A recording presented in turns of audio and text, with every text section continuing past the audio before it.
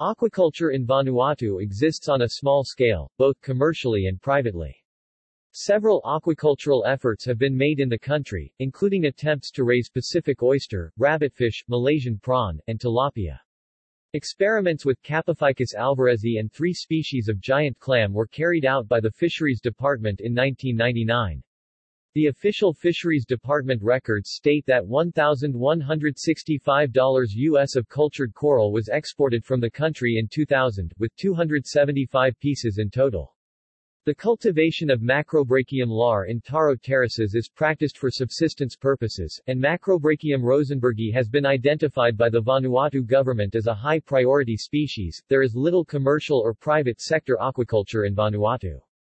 The Fisheries Department operates a small hatchery for Trochus shell Trochus niloticus, producing juveniles which are used in experiments to study the impact and potential of reef reseeding as a means of enhancement the wild Trochus fishery.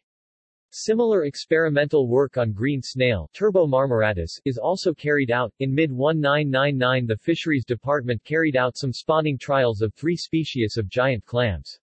In the same year the department brought seaweed alvarezii from Fiji for some experimental culture.